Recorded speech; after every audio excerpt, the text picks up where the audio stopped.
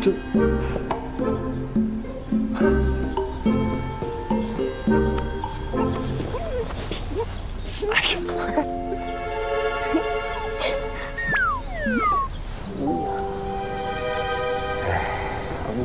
好久没见少主这么开心了。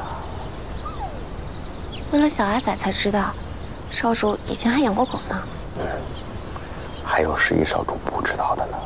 嫡长主对狗毛过敏，就命人把狗送走了。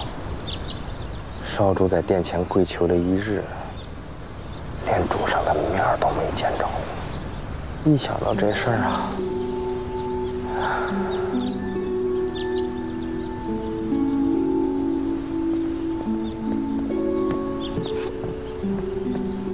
少主给他取个名字吧，你放心，他不会被人给抱走了。我力气可大了，可以保护好他。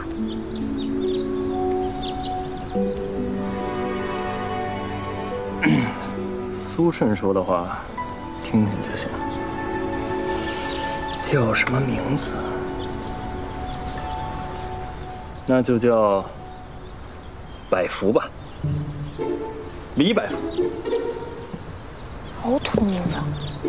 而且为什么要跟我姓啊？你带回的孩子，我就不跟你争。李百福，李百福。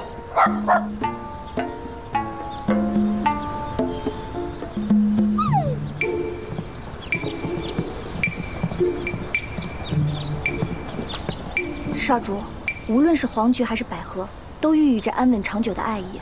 还希望您能明白我们侧夫人的心。她特地跑去内务府，费尽心思求来了百福，为的就是让您高兴。她虽然嘴上不说，但心里却很喜欢您呢。